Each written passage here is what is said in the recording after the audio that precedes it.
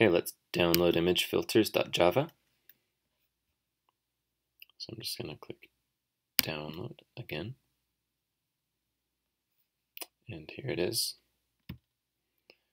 And I'm just going to open it. I'm going to copy everything right here. Let's just do Control A, Control C.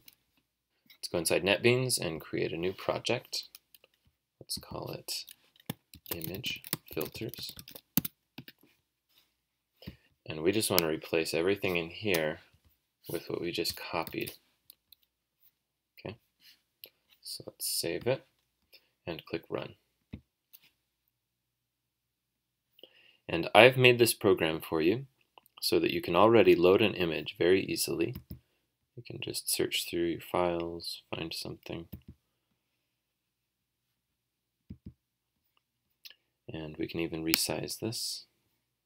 And we can scroll down if it's a big image. You can see the whole thing. Uh, so right now, there are five buttons here. One says invert colors, another says grayscale, step colors, emboss image, and blur image. If we try to invert right now, nothing happens. Same thing with grayscale and step colors, emboss image, blur image. They don't do anything yet. But in this video, we're going to program the functionality for this first button, the one that says invert colors. So let's go back to NetBeans. And if we look through the code here I've written, I've got five functions here that don't have any code in them, or they have a tiny one line of code just to help you get started. So for invert colors, go where it says your code here. If you're wondering what it means to invert the colors of an image, it means you're getting the negative of the image. So here's an example. This is an image, and then this is the inverse, or the negative of that image. In order to do this, you have to understand a little bit about how pixels work. So let's go back to the assignment description. And right here I have an FYI. In digital graphics, the color of a pixel is actually made up of varying amounts of three different colors, red, green, and blue. These values are represented by integer amounts, where 0 means none of that color, and 255 is the maximum value, meaning 100% of that color. So the color red would be expressed as 255, 0, 0, because it contains no green and no blue. All right, so with that understanding, we can go down a little bit further and we can see the algorithm to invert the colors of an image.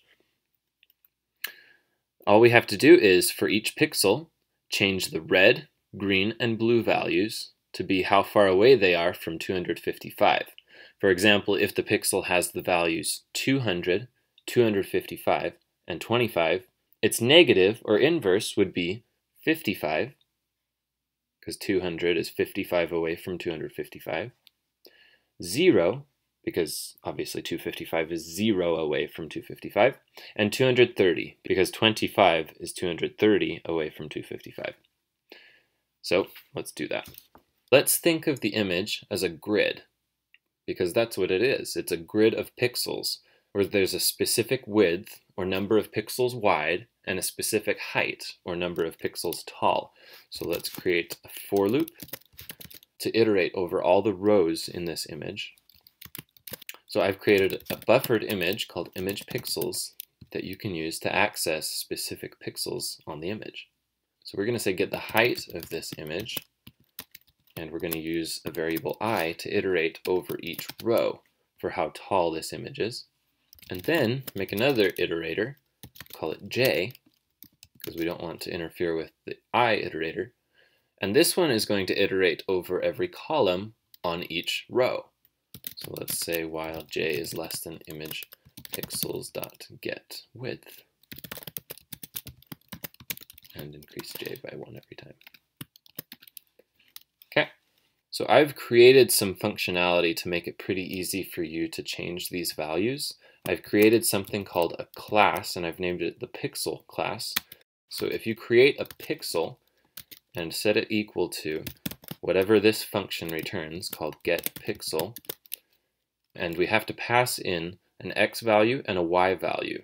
So these are the coordinates of a specific pixel, and remember we're trying to go over every single pixel on this image.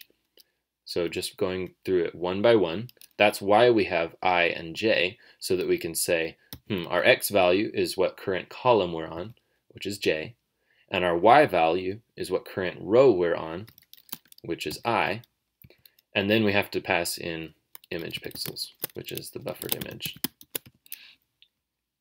Okay, so now we can access the red, the green, and the blue values from that pixel object called p. We could say p dot get red value, get green value, get blue value.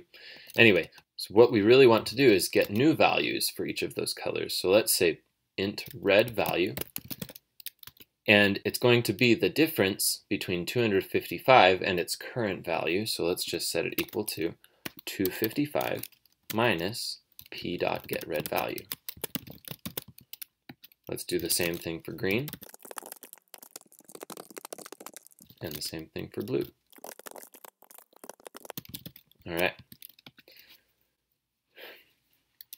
So now there's only one more function we have to call for this specific pixel. We can say p dot set RGB, and of course we want to pass in the red value, the green value, and the blue value. So it shouldn't be J, it should be red value, green value, and blue value. Okay, and that's all I have to do. So let's save that. Let's close this current one and rerun it.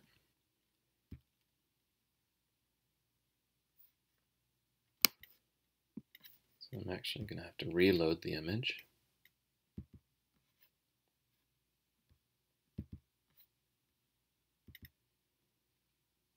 Okay, so let's try inverting the colors. And it looks like it works. So that is the negative of this image. The cool thing is, you can actually run that exact same algorithm and get your original image back because the inverse of the inverse is the original. All right, so three of these buttons here you're going to have to implement, and then the fourth one, to blur an image, will be extra credit. And I have the algorithms for all of them right here. So some of them are a little bit more involved than others, but you should be able to do them. Of course, if you have questions, just let me know. I'll be glad to help.